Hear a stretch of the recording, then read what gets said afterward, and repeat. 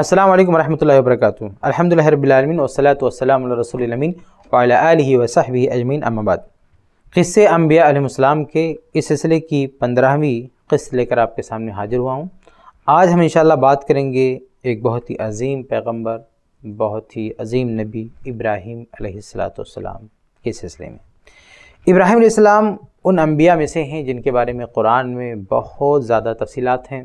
اسی طرح سے احادیث میں بھی بہت ساری احادیث ہیں، کیونکہ یہ بڑے انبیاء میں سے تھے، تو ان کا تذکرہ قرآن میں بھی ہے اور بہت ساری احادیث میں ہے ہم ان کی زندگی کے بارے میں انشاءاللہ قرآن آیات کی روشنی میں بھی دیکھیں گے اور احادیث سیاح کی روشنی میں بھی دیکھیں گے۔ سب سے پہلے ہم قرآن آیات کی روشنی میں دیکھتے ہیں۔ اللہ رب العالمین نے ان کا تذکرہ کئی جگہ پہ کیا ہے۔ سورہ مریم آیت اکتالیس سے سینتالیس میں ہم دیکھتے ہیں، تو اللہ رب العالمین نے ان کے بارے میں یہ ذکر کیا ہے کہ انہوں نے سب سے پہلے اپنے والد کو سمجھانے کی کوشش کی، شرک سے روکنے کی کوشش کی۔ کیونکہ ابراہیم علیہ السلام کی پیدائش جس گھرانے میں ہوئی تھی، وہ گھرانہ بت پرست تھا، بتوں کی پوجا کرتا تھا۔ ابراہیم علیہ السلام شروع ہی سے ان چیزوں سے نفرت کرتے تھے اور بالآخر ابراہیم علیہ السلام کو اللہ تعالیٰ نے نبی بنایا اور انہوں نے اپنی قوم کو حق کی طرف بلایا اور بت پرستی سے روکا۔ سب سے پہلے انہوں نے اپنے والد صاحب سے بات چیت کی۔ اس کا تذکرہ اللہ تعالیٰ کرتا ہے سورہ مریم آیت اکتالیس سے ستالیس تک کہتا ہے وَذْكُرْ فِي الْكِتَابِ إِبْرَاهِمْ إِنَّهُ كَانَ صِدِّيقًا نَبِيًّا إِذْ قَالَ لِأَبِهِ يَا أَبَتِ لِمَ تَعْبُدُ مَا لَا يَسْمَعُ وَلَا يُبْصِرُ وَلَا يُغْنِي عَنْكَ شَيْئًا کہا کہ ذکر کیجیے ابراہیم علیہ السلام کا کہ وہ ایک سچے نبی تھے، انہوں نے اپنے باپ سے کہا کہ اے ابا، آپ ایسی چیزوں کی عبادت کیوں کرتے ہیں جو نہ سن سکتے ہیں، نہ دیکھ سکتے ہیں، نہ آپ کو کوئی فائدہ پہنچا سکتے ہیں؟ یا بتینی قد جاءنی من العلم ما لم یأتیک فتبئنی اہدیک صراطا صویہ کہا، اے ابا، میرے پاس ایسا علم ہے یعنی اللہ کی طرف سے ایسی ہدایت ہے جو آپ کو نہیں ملی ہے۔ اس لیے آپ میری پیروی کیجیے، ان خرافات کو چھوڑیے یا ابتی اللہ تعبد شیطان ان شیطان کان لرحمن عصیہ کہ ابا جان، آپ شیطان کی عبادت مت کیجیے، شیطان اللہ کا نافرمان ہے۔ یا ابتی انی اخاف ان یمسک عذاب من الرحمن فتکون للشیطان ولیہ کہ ابا جان، مجھے ڈر ہے کہ اللہ کی طرف سے آپ کو کوئی عذاب پہنچے اور آپ شیطان کے ساتھی ہو جائیں. قال، اراغب انت ان آلہتی یا ابراہیم؟ ان کے والد نے کہا، ابراہیم، تو مجھے میرے معبودوں سے ہٹا رہا ہے۔ لَإِن لَمْ تَنْتَهِ لَأَرْجُمَنَّكَ وَحْجُنِّي مَلِيَا اگر تو باز نہیں آئے تو میں تجھے رجم کر دوں گا، مار ڈالوں گا۔ تو بہرحال ابراہیم علیہ السلام نے سب سے پہلے اپنے والد صاحب کو یعنی اپنے گھر والوں کو سمجھانے کی کوشش کی، وہ باز نہیں آئے۔ اس کے بعد ابراہیم علیہ السلام نے اپنی پوری قوم کو سمجھانے کی کوشش کی، ان کی قوم ستاروں کی پرستش کرتی تھی، ستاروں کی پوجا کرتی تھی۔ تو ستاروں کی کیا اوقات ہے، ان کی کیا حد ہے، ان میں کیا چیز ہے، اس کو سمجھانے کے لیے ایک پیارا اسلوب اپنایا ابراہیم علیہ السلام نے، جس کا تذکرہ اللہ تعالیٰ نے سورہ انام آیت چھہتر سے آگے کئی آیات تک کیا، اللہ فرماتا ہے، فلما جن علیہ اللیل کوکبن قال هذا ربی کہ ابراہیم علیہ السلام نے رات میں دیکھا، جب رات آئی، ستارے کو دیکھا تو کہا ہاں, ہاں، ربی یہ میرا رب ہے۔ مفسرین نے لکھا ہے کہ ابراہیم علیہ السلام اصل میں اپنی قوم کو سمجھانا چاہ رہے تھے۔ ایسا نہیں کہ خود ان کے یہ سب احساسات تھے، بلکہ وہ اپنی قوم کو دکھانا چاہتے تھے، ان پر واضح کرنا چاہتے تھے کہ ان ستاروں کی کیا حیثیت ہے جن کی تم پوجا کرتے ہو۔ تو جب رات آئی اور ستارے کو دیکھا، قال ہاد ربی کہا کہ یہ میرا رب ہے۔ فلما افلا قال لا احب الافلین لیکن جب ڈوب گیا تو کہا میں ڈوبنے والوں کو پسند نہیں کرتا۔ تو ابراہیم علیہ السلام نے ایک میسج دیا اپنی قوم کو کہ دیکھو یہ رب ہوتا تو ڈوبتا نہیں، میں ڈوبنے والوں کو رب نہیں مان سکتا۔ آگے فلما را القمر بازغن قال هذا ربی جب چاند کو چمکتے ہوئے دیکھا تو کہا کہ یہ میرا رب ہے۔ فلما افلا قال لم يهدني ربي لاكونن من القوم الظالمين۔ لیکن جب یہ چاند بھی ڈوب گیا تو کہا اگر میرے رب نے ہدایت نہیں دی، صحیح راستے کی طرف رہنمائی نہیں کی، تو میں گمراہ لوگوں میں سو جاؤں گا۔ یہ بھی میرا رب نہیں ہو سکتا۔ فلما را الشمس بازغتا قال، هذا ربی هذا اکبر اور صبح ہوئی اور سورج کو چمکتے ہوئے دیکھا، کہا، یہ میرا رب ہے اور یہ میرا سب سے بڑا رب ہے۔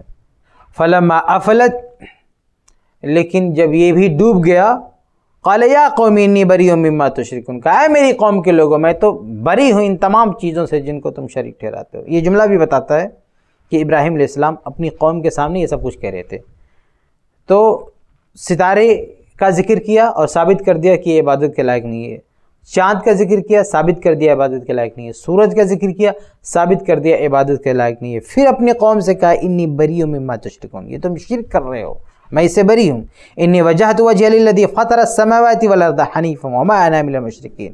میں تو اس ذات کی طرف متوجہ ہوتا ہوں جس نے آسمانوں کو پیدا کیا، زمین کو پیدا کیا، ان ساری چیزوں کو پیدا کیا۔ میں پوری طور سے اسی ذات کی طرف متوجہ ہوتا ہوں۔ وما انا من المشرکین، میں اس کے ساتھ کسی کو شریک نہیں کر سکتا۔ تو دیکھیں، یہ بھی ایک انداز تھا۔ ابراہیم علیہ السلام نے اپنی قوم کو سمجھایا، ان پر ان ستاروں کی حقیقت واضح کی کہ یہ لوگ خدا نہیں ہو سکتے، معبود نہیں ہو سکتے۔ آگے بڑھیں، ابراہیم علیہ السلام نے ایک اور طریقہ اپنایا تھا اپنی قوم کو راہ راست پہ لانے کے لیے۔ اللہ تعالیٰ نے اس کا بھی ذکر کیا ہے۔ وہ یہ تھا کہ ان کی قوم کے ہاں ایک دن کوئی میلہ ہوتا تھا، سب لوگ باہر جاتے تھے۔ تو جب وہ وقت آیا، سب لوگ باہر جانے لگے۔ ابراہیم علیہ السلام سے بھی کہا گیا کہ تم بھی چلو۔ تو اللہ نقل کرتا ہے سورہ صافات میں کہ فقال انی سقیم۔ انہوں نے کہا کہ میں بیمار ہوں۔ فتول عنہ مدبرین اور سب کے سب چلے گئے۔ فراغ الحتیم فقال اللہ تأکلون۔ تو ان کے جو بت بنے ہوئے تھے، ان کے جو معبود تھے، ابراہیم علیہ السلام، ان کے پاس پہنچ گئے۔ اور کہا کہ اللہ تاکلون، یہ تم لوگ کھا کیوں نہیں رہے ہو؟ یعنی ان بتوں کے سامنے سب چڑھاوے تھے، کھانے تھے نظرانے تھے، پتہ نہیں کیا کیا تھے۔ تو ابراہیم علیہ السلام گئے بتوں کے سامنے اور کہا کہ تم لوگوں کے سامنے یہ ساری چیزیں رکھی ہے کھا کیوں نہیں رہے ہو؟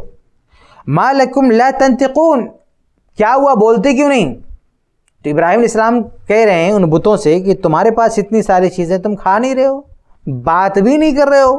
کیا بات ہے؟ فراغ علیہم ضربم بالیمین۔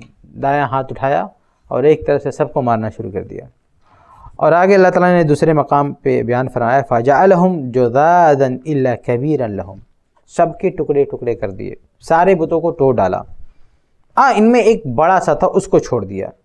لعلہم الیہ ارجون تاکہ وہ لوگ جب واپس آئیں گے تو اس سے پوچھ تاچھ کریں، کیا معاملہ ہے؟ تو جب وہ لوگ واپس آئے قالوا من فعل هذا بآلهتنا؟ انه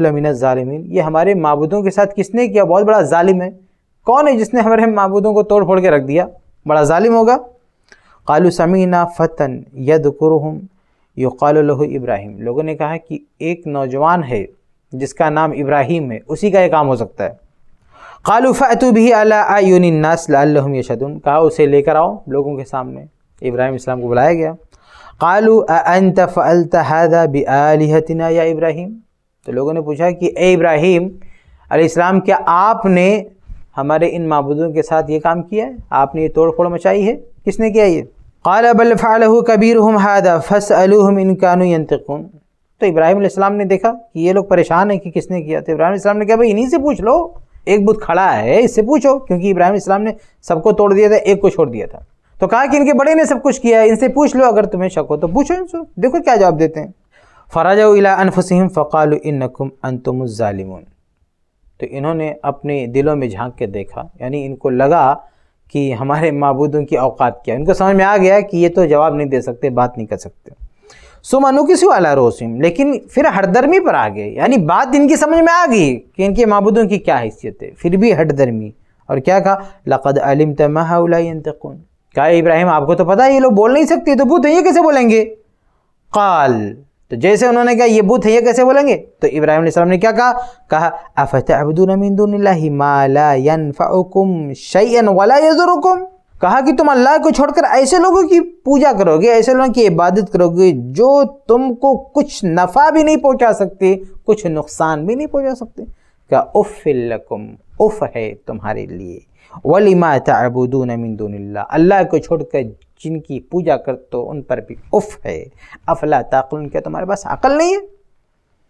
تو ابراہیم علیہ السلام نے ان کو اچھی طرح سے سمجھا کہ ان کو پوری طرح سے لاجواب کر دیا اور حقیقت واضح کر دی کہ ان معبودوں کی کوئی حقیقت نہیں ہے، ان کی کوئی حیثیت نہیں ہے۔ اب یہ لوگ ابراہیم علیہ السلام کا جواب تو نہیں دے سکتے تھے، اس لیے ان لوگوں نے ابراہیم علیہ السلام کو سزا دینے کا تہیہ کر لیا۔ قرآن نے اس کو نقل کیا ہے، سورہ انبیاء آیت اڑسٹھ سے ستر دیکھیں۔ قالوا حرقوه وانصروا آلهتكم ان كنتم فاعلين ان لوگوں نے کہا کہ ابراہیم علیہ السلام کو جلا دو اور اپنے معبودوں کی مدد کرو۔ دیکھیں کیسا جملہ ہے۔ کہ ابراہیم کو جلا دو، اپنے معبودوں کی مدد کرو۔ یہ ایسے معبود ان کے جو ان کی مدد کے محتاج ہیں۔ یہ معبود ان کی کیا مدد کریں گے؟ یہ خود کہتے ہیں کہ اپنے معبودوں کی مدد کریں۔ آگے اللہ کہتا ہے، قلنا یا نارو کونی بردم و سلامہ اور ہوا یہ کہ ابراہیم علیہ السلام کو لوگوں نے آگ میں ڈال دیا۔ ابراہیم علیہ السلام کو آگ میں جھونک دیا، ڈال دیا۔ لیکن ابراہیم علیہ السلام کا کچھ نہیں بگڑا۔ اللہ کہتا ہے، قلنا یا نا رکونی بردم و سلام ہم نے کہا، اے آگ تو ٹھنڈی ہو جا اور سراپا سلامت ہو جا۔ اللہ ابراہیم ابراہیم علیہ السلام پر۔ ٹھنڈی بھی ہو جا اور سلامتی والی آگ بن جائے۔ یعنی اتنا زیادہ ٹھنڈ بھی نہیں ہونا چاہیے کہ ٹھنڈک سے ابراہیم علیہ السلام کو تکلیف پہنچے۔ تو نہ گرم، نہ ٹھنڈ، بالکل ایئر کنڈیشن وہ اراد بھی کئی دن فجا ہوم الاخسرین اللہ فرماتا ہے کہ ان لوگوں نے مکر کرنا چاہا۔ ابراہیم علیہ السلام کے ساتھ، لیکن ہم نے انہیں ہی خسارے میں رکھا اور ابراہیم علیہ السلام کو بچا لیا۔ تو یہ چند آیات ہیں جن میں اللہ تبارک تعالیٰ نے ابراہیم علیہ السلام کے کچھ واقعات بیان کیے ہیں۔ ان کے اور بھی واقعات ہیں، اور بھی بہت ساری چیزیں ہیں جنہیں اللہ تعالیٰ نے بیان کی ہیں۔ ہم انشاءاللہ اسے اگلے حصوں میں دیکھیں گے۔ اللہ تعالیٰ ہم سب کو ابراہیم السلام اور تمام انبیاء علیہ السلام کی سیرت پر چلنے کی توفیق فرمائے۔ آمین رب العالمین۔